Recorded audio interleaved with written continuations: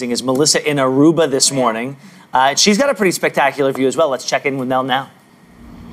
Thank you so much, guys. You know that Aruba has over 50 beaches. One of the defining features here at the Riu Palace Aruba is that every single one of their 450 rooms has a balcony. When you have a balcony, you have a view like this of their massive infinity pool, the swim up bar, all the lounge chairs right in the water. It is fantastic.